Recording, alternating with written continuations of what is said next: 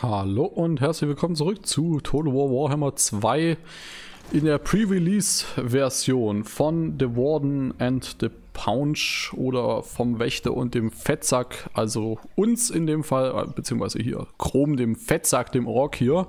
Wir haben im letzten Part die ersten beiden Schlachten geschlagen, haben hier Kennel erobert, wie auch immer. Ähm, genau, sind hier immer noch mit Paravon im Krieg hoffen, dass wir das da irgendwie hinbekommen und diese Provinz auch noch erobern. Und dann können wir uns mal überlegen, wo wir als nächstes angreifen wollen oder wo Plünderungen möglich sind oder wie auch immer. Oder eben auch Eroberungen. Mal schauen, ich habe ein bisschen das Gefühl, dass wir bald von mehreren Leuten angegriffen werden, ehrlicherweise. Ähm, genau, wir wollten in dem Part dann auch mal gleich gucken, wie wir unsere Armee jetzt hier weiter sinnvoll ausbauen können. Und das äh, ist irgendwie erst nach dem zweiten Part gekommen. Ich muss erst mal gucken. Vielleicht kommen auch die nächsten Tage, also zumindest vielleicht am ersten Tag, vielleicht kamen da schon die ersten beiden Videos. Ähm, vielleicht kommen irgendwie auch dazwischen mal zwei Videos am Tag von diesem Let's Play. Das muss ich mal noch schauen, wie ich das mache. Ehrlicherweise, das weiß ich noch nicht. Es war eher gerade auch so ein bisschen spontan, dass ich gesagt habe, komm, das nehme ich jetzt hier mal eine Runde auf, spiele das eine Runde für dieses Preview-Let's Play, wie auch immer, genau. Ähm, deshalb passt das schon. Äh, ich schaue jetzt hier mal, ich würde sagen, wir nehmen mal nochmal eine Einheit Goblin-Bogenschützen und zwei Einheiten Goblins rein. Genau. Was hatten der eigentlich hier drin? Paravon, 2, 4, 6, 7, 8, 9, 10 Einheiten. Also das ist natürlich dann auch eine Stadtschlacht, das wird ein bisschen anstrengender. Vor allem kann es auch noch sein, dass er weitere Truppen da noch drin hat, da müssen wir mal schauen. Ups, falsche Taste. So, und dann können wir hier in Stufe 3 aufsteigen. Und ähm, ich habe ja schon mal gesagt, ja wobei, gell, also hier mit Aura, Führerschaft und so, da könnte man den schon auch relativ weit so in Richtung so einem guten General bringen. Der hat eben seine Leute verbessert.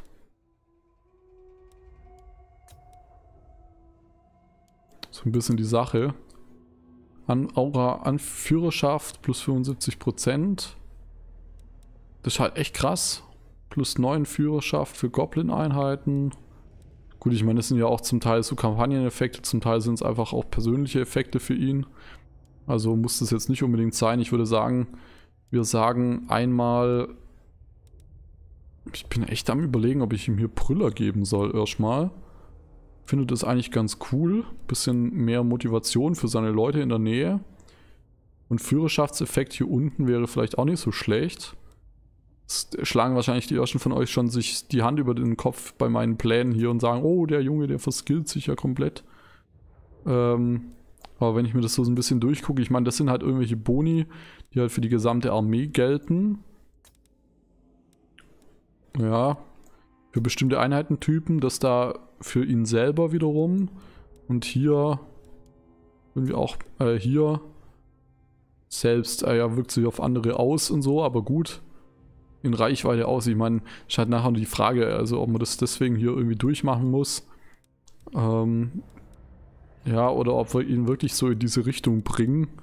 Ich weiß es noch gar nicht. Vielleicht gucke ich da erstmal, deswegen mal jetzt hier erstmal dieses, einmal diese Führerschaftssache, ich glaube, die schadet nicht. Und bei der guten hier ähm, möchte ich gerne vielleicht nochmal einen weiteren Zauber mir raussuchen. Weniger Führerschaft, weniger Rüstung, weniger Waffengrundschaden. Mehr Führerschaft für unsere oder Nachladerate verbessern. Also Zauber-Nachladerate. Ähm, ich finde ehrlicherweise, dass wir dem Gegner Rüstung abziehen.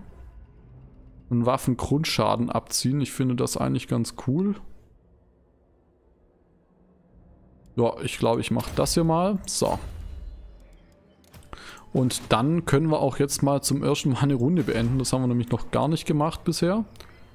Genau, und schauen da mal, was die Runde so bringt. Wir können mal noch ganz kurz in die Diplomatieübersicht gehen. Da gibt es aber nicht wirklich viel zu sehen, weil uns alle hassen. Außer ähm, Sartosa, die Piraten von Ta Sartosa und Aranessa Saltspite hier unten. Aber alle anderen hassen uns, sowohl die Waldelfen als auch die Hochelfen, als auch die Bretonen. So, ja, bleibt uns relativ wenig übrig. Die Runde läuft also jetzt mal durch. Und hoffen, dass wir die Runde überleben ohne 10 Kriegserklärungen. Na, da kommt auf jeden Fall schon mal eine Agentin, Agentin von Carcassonne. Die hoffentlich verkackt. Wissen wir noch nicht, ob sie es verkackt hat. Sehen wir dann gleich.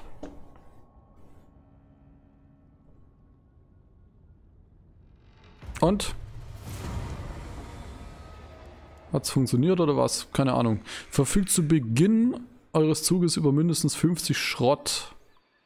Schwarzzahn. In der Vergangenheit ruhte sich Chrom auf seinen Lorbeeren aus und vor allem, wenn die Kriegsbeute und die sich daraus ergebenden Siegesbankette besonders üppig war. Ohne die unheilvolle Ermutigung eines seines machtbesessenen Schamanen Schwarzzahn wurden, würden Chroms Bestrebungen nicht unbedingt Taten folgen und er hätte einen korpulenten Hintern von vornherein nicht in, er hätte seinen korpulenten Hintern von vornherein nicht in Bewegung gesetzt, um die erste Invasion des Schatten, äh, Schartenachsstamms auf Thor Yfres anzuführen. Dieser spitzköpfige Git Eltarion hat Schwarzzahns Kopf zwar dummerweise abgehakt, doch zuvor konnte er noch große Mengen an Energie von zerstörten Wegsteinen aufnehmen. So viel Macht, dass es nun ziemlich schwer ist, ihn zu töten, selbst nachdem sein Kopf seinen Körper einbüßte. Nice, okay. Äh, als Grom es aufgab, seine vor Tor Ifres fliehenden Truppen zu versammeln, entdeckte er auf dem Boden den Kopf seines Schamanen, der ihm wütende Beleidigungen zurief. Also steckte er ihn in ein, Glas, bevor er selbst floh. Seit diesem Tag gibt Schwarzsands Kopf meist nur unverständlichen Unsinn von sich. Das Fehlen des eigenen Körpers kann einem Ork zusetzen. Seit kurzem sagt er allerdings Sachen, die Kroms Aufmerksamkeit erregen. Er behauptet zu wissen, wie man den Wag wieder befeuern kann. Als erstes schlug er Krom aber vor, ein Festmahl abzuhalten, um die Jungs zu motivieren. Da er nie ein Bankett ausschlägt, befiehlt Krom, ihnen Holz zu sammeln und das Kesselfeuer anzufachen und zwar sofort. Schwarzzahns Kopf im Glas bekommen wir. Es wird eine zufällige Zutat freigeschalten. Sehr schön. Und erhaltet eins der folgenden Trophäe Wag Ausruf. So, wir sollen es machen. Chroms Bannerträger Niplit ist durch den Wind. Sein einst lebhaftes Bannerschwingen ist mittlerweile erschöpft und lustlos. Davon lassen sich die Jungs nicht mehr inspirieren. Wenn es hier um irgendeinen anderen Goblin ginge, würde Chrom ihn mit seinem eigenen Leib zerquetschen. Allerdings hat Niplit genau diese Strafe schon einmal überlegt und sich damit Chroms Kunst verdient. Gut, stattdessen beschließt Chrom einen Weg zu finden, um Niplits Enthusiasmus neu zu entfachen und eine Sache hebt ganz sicher den Elan einer jeden Grünhaut ein, ein Wag. Gut, sehr schön. Würden wir wieder einen Gegenstand kriegen. Aber wir haben jetzt gerade eben schon einen Gegenstand erhalten, oder? Ne, doch nicht. Hä, ich habe gedacht, wir hätten einen Gegenstand erhalten. Keine Ahnung, oder nur für sie vielleicht? Nee. Ähm. Achso, nee, das haben wir noch gar nicht freigeschalten. Ach, das werden wir wahrscheinlich dann erst. Wir haben jetzt die Aufgabe gekriegt und freigeschalten wird es wahrscheinlich nächste Runde. Ansonsten, ich würde mal gerne wissen, die Kapitelziele, was haben wir da eigentlich? So, diese vier Siedlungen und so weiter. 2000 Feinde töten, Schamane rekrutieren, zwei Siedlungen plündern oder niederreißen, zwei Technologien erforschen und 100 Schrott am Anfang einer Runde. Kroms Kessel hat sich auch noch nichts getan, logischerweise.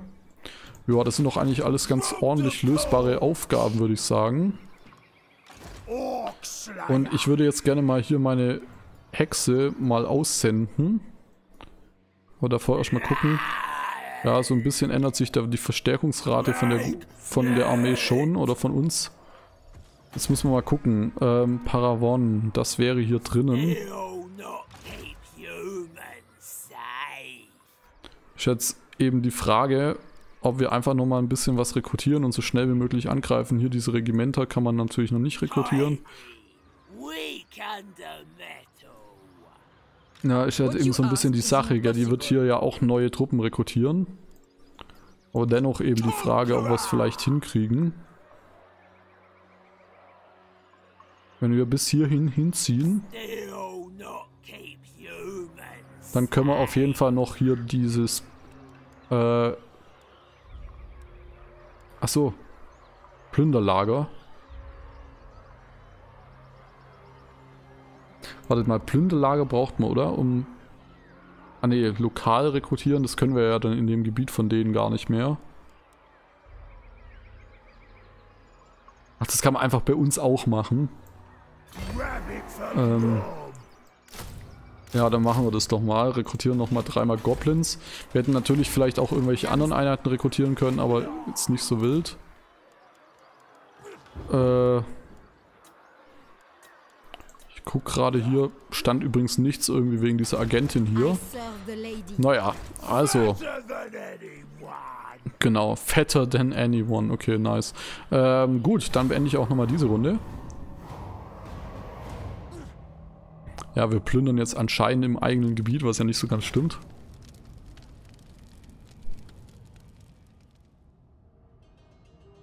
Ach doch. Das ist ja kacke. Aber wir kriegen nicht mal Geld rausgeplündert, aber haben jetzt den Malus. Naja, dafür haben wir hier... Ich habe ein bisschen mehr hier ähm, Verstärkungsrate gehabt, egal.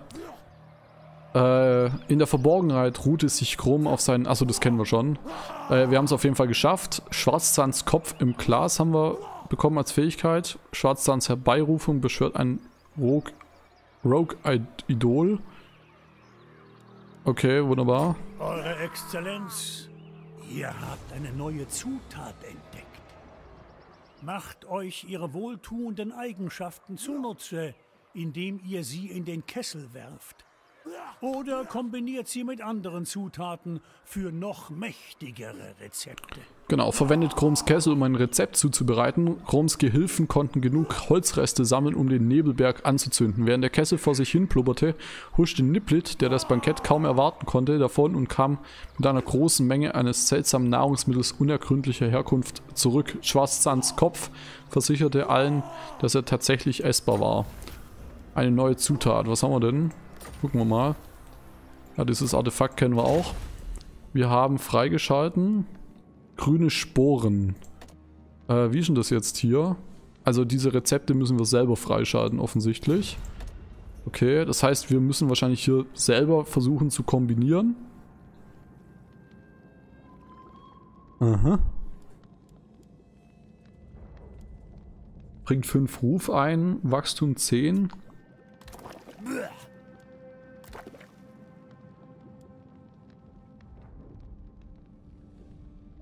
in Reihen Würstchen an Pilzen. Lecker. Würstchen und Feindesbrei nur Krom. Angriffsbonus plus 25.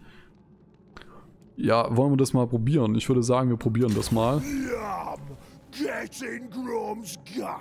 Ihr habt erfolgreich euer erstes Rezept zubereitet. Die wohltuende Wirkung dieser Kombination aus Zutaten klingt ab, sobald der Kessel leer ist. Aber ihr könnt jederzeit ein neues Rezept zubereiten. Okay, um die derzeitigen Effekte zu ähm, ändern oder zu ja, ändern einfach. So, haben wir das auch geschafft. Sehr schön. Ähm, sollten damit dann auch hier unten das mit dem 100 Schrott haben. Die Technologien, da sind wir dabei. Das andere irgendwie auch. So. Ähm, das heißt, eigentlich müssten wir doch jetzt einen Bonus am Laufen haben, oder? Ja, sehr schön. Würstchen und Feindesbrei, 25 Angriffsbonus, 5 Ruf, passive Fähigkeit Regeneration für Infanterie und Goblins und Go äh, der Goblins und Nachtgoblins und Wachstum plus 10%. Das ist doch mal ganz nice, wie ich finde. Äh, jetzt muss ich nur aus diesem Lager hier raus. So. Und dann müssten wir uns überlegen, ob wir diese Belagerung hier schaffen. Oh, der hat jetzt da noch weißere Einheiten drin. Das ist halt manchmal so ein bisschen das Problem. Er hat jetzt hier auch Truppen rekrutiert, gell? Plus eben die Soldaten hier in der Stadt und so. Das ist halt eben die Frage, ob wir das hinbekommen. Das ist immer auch so ein bisschen die Schwierigkeit in allen Kampagnenspielen. Jetzt nie nur hier, finde ich, das dann auf die Reihe zu kriegen. Aber wir werden es mal probieren. Zumindest werde ich mal belagern. Und wir werden natürlich auch noch hier... Ja, ihr seht, das sieht nicht so gut aus. Ähm, ja, und dann werden wir auf jeden Fall hier noch Truppen auffüllen machen. Also die Fähigkeit, damit die Hexe auch noch mit reinkommt. Da sieht es schon ein bisschen besser aus. Und dann würde ich sagen, machen wir mal Belagerungstürme. Bauen wir auf jeden Fall mal zwei Stück. Vielleicht auch so ein Rambock. Wie lange hält denn eigentlich das Ganze hier durch? Acht 14. Runden, glaube ich, habe ich gerade gelesen. Ich finde diese Belagerungszeiten auch manchmal ein bisschen heftig. Also geht mir manchmal ein bisschen zu lang, ehrlicherweise. Ähm, vor allem gerade so am Anfang, dass es da schon so recht lange geht, ist ein bisschen schade manchmal. Ja, jetzt irgendwie eine, das ist ja immer so ein bisschen das Blöde in neueren TVs, muss ich sagen, dass wir jetzt nicht einfach irgendwie Truppen nachziehen können. So seit Rom ist das eigentlich so, seit Rome 2. Ähm, dass wir jetzt nicht einfach hier irgendwie Truppen rekrutieren und nachschicken können. Das würde natürlich einiges vereinfachen. Naja. Schauen wir mal. Weil jetzt eine weitere Armee aufbauen würde ja dafür sorgen, oder es sorgt halt eben für das Problem, dass wir dann ähm, meines Wissens nach keine... Also das kostet halt eben nochmal extra Geld quasi und dann können wir uns vielleicht halt zwei Einheiten leisten oder so. Äh, Technologie erforscht größer, haben wir erforscht, sehr schön. Ähm, Schrottverbesserung freigeschalten für Ork Boys, Spickerschützen der Orks und Ork Moschats. Goblin-Einheiten. Äh, die Goblin-Einheiten zu verbessern wäre jetzt vielleicht für diese Schlacht nicht so schlecht. Ja, ein bisschen mehr Führerschein, ein bisschen mehr Nahkampf, ein bisschen mehr Geschossstärke. Hört sich gut an, das machen wir mal. So, und hier können wir tatsächlich unsere Hauptstadt schon ein bisschen aufbauen. Ausbauen Lagerstätte der Grünhäute statt Versteck der Grünhäute. Ich denke, auch das werden wir mal machen. Das brauchen wir auf jeden Fall, um auch hier bessere Einheiten rekrutieren zu können. Äh, und nochmal einen Gebäudeslot freizuschalten. So, und dann würde ich sagen, werde ich echt nochmal zwei Runden abwarten, bevor wir hier angreifen. Ähm... Ja, einfach um diese eine Sache hier freizuschalten. Die könnte auf jeden Fall helfen, würde ich sagen. Oh, wir haben hier in Paravon auch einen Bevölkerungsüberschuss. Das ist sehr schön.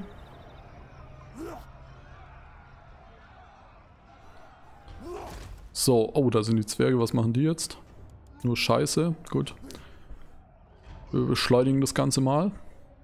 Die haben aber auch schon richtig viele Truppen, hey. Puh. eures brodelnden Kessels hat eine Lebensmittelhändlerin angelockt. Eine Flusstrollhexe. In dem Netz, das sie über der Schulter trägt, findet sich sicher die ein oder andere seltene Zutat. Oder vielleicht bietet sie unter der Ladentheke auch noch andere Waren feil. Okay. Hexenhändlerin entdeckt. Ähm, der Geruch von Krum, Kroms unablässigen Banketten lockt äh, eine Trollhexe an, die in der Nähe gesichtet wurde. Solch einer gefährlichen Kreatur sollte man sich nur mit größter Vorsicht nähern, doch ihr Sack voller Toddinge enthält mit Sicherheit einige Köstlichkeiten, die sich in Kroms Kessel werfen lassen. Ihr könntet sie auch einfach ausrauben. Wo ist denn die gute Dame? Ah, da unten. Müssen wir also hinlaufen. Aber das machen wir natürlich erst nach unserer Eroberung hier. Ganz klar, kommen jetzt in der Runde eh nicht hin. Und dann schauen wir mal hier, was wir machen können. Wir können hier die Stadt auch einmal ausbauen. Ich würde auch vorschlagen, dass wir das machen. Ja, schadet nicht. Dann beenden wir nochmal eine Runde. Ich habe ja ein bisschen Angst vor dieser Schlacht hier, ehrlicherweise.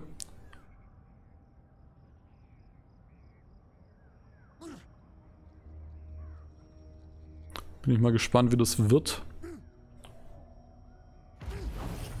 So, Gobbige Gobos haben wir jetzt freigeschaltet. Das ist sehr gut für uns. Jetzt möchte ich mir mal so ein bisschen... Ja, ist so ein bisschen die Frage, gell? Auf was geht man eigentlich so als erstes? Äh, auf welche Dinge? Was wollen wir denn eigentlich bauen so? Ja, also was, was will ich vielleicht als nächstes mal so haben? Also ich bin ja schon der Meinung... Ähm, ja. Also wir können jetzt bei diese Stufe 2 Gebäude bauen. Also wir werden definitiv hier das äh, Musterungsfeld auf upgraden, meine ich. Und dann ist eben wir so ein bisschen die Frage, wir haben hier dann ein bisschen die Wahl aus äh, Wolfsbau für Reiterei, für Wolfsreiter, Bogenschützenreiter sowie auch Nahkampfreiter. Wir können Trolle rekrutieren. Wir, oder wir könnten hier Kurbelwagen der Snotlinge rekrutieren, also die, die wir jetzt schon bauen können. Das andere gibt jetzt keine Truppen. Ähm, ich weiß gar nicht, ob ein oder ich glaube zwei Plätze werden freigeschaltet. Also wir könnten zwei Dinge da machen. Wir können natürlich auch hier ein bisschen für Einkommen sorgen. Ähm, genau, also das können wir auf jeden Fall dann angehen. Die Frage ist natürlich, was machen wir da? Ich werde auf jeden Fall, denke ich, hier den Wolfsbau bauen, dieses Ding ausbauen. dann ist so ein bisschen die Frage, wollen wir hier ja, Trolle auch noch oder diese Tüftler, diese Goblin-Werkzeugkiste oder was haben wir hier? Goblin Gargo, Garg Boss könnten wir auch uns holen hier drüben. Oder halt eben dieses Geldgebäude. Das ist so ein bisschen die Frage, da bin ich mir ehrlich gesagt noch nicht ganz so sicher. Auf jeden Fall bin ich eigentlich ein großer Freund von Kavallerie. Auch wenn sie unter meinem Kommando häufig relativ zügig stirbt, aber trotzdem. Ähm, gebaut habe ich übrigens noch nicht alles, gell? Wir müssen da eh nochmal weiter belagern, glaube ich. Oh, ich finde das ein bisschen schade, ehrlich. Naja, und hier, wie sieht es hier aus? Also, das sind eher so Kampagneneffekte, wobei hier sind dann auch wieder Wolfsreiter, das ist alles ein bisschen durcheinander. Spinnenreiter. Ekelhaft. Ähm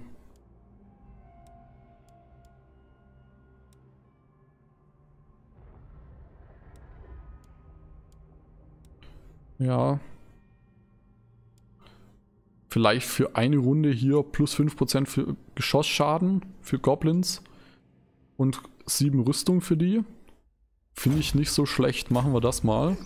Ich denke einfach so ein bisschen kurzfristig daran, was können wir hier bei der Belagerung eben brauchen. Und das sind eben alles Dinge, die wir dort brauchen können.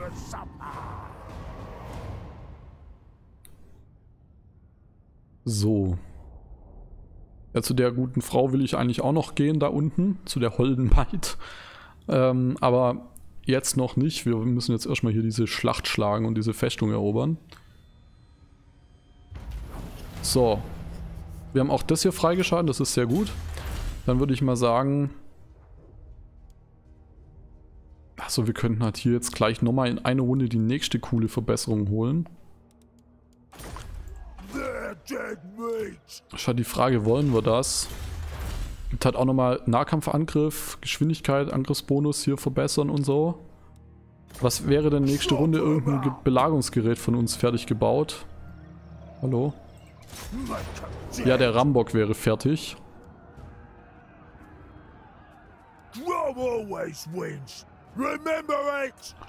Ich glaube, das werde ich noch abwarten. Und dann werde ich hier diese Forschung noch installieren. Haben wir dafür unsere Goblins schon mal einiges getan. Ich weiß, die sind jetzt nicht unbedingt die besten, aber dennoch. Ähm, dann haben wir jetzt ein bisschen Geldprobleme, ehrlicherweise. Äh, schön, schön. Was machen wir da?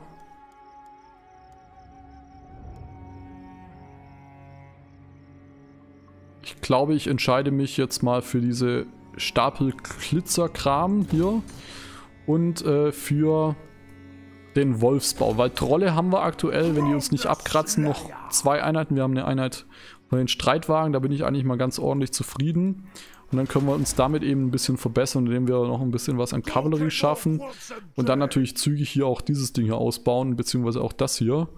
Hätte ich auch ganz gerne recht schnell ausgebaut.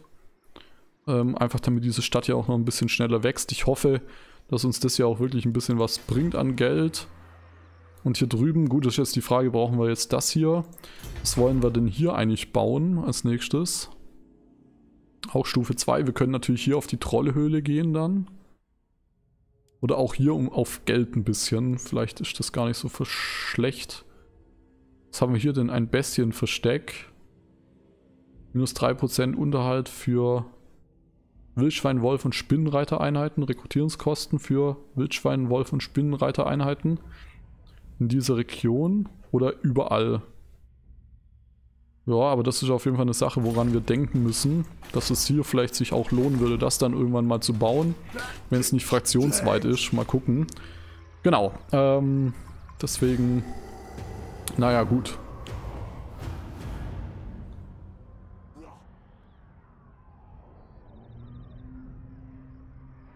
Mal schauen, ähm, ob wir diese Schlacht hier gewinnen. Sonst wäre es auf jeden Fall schon mal stressig.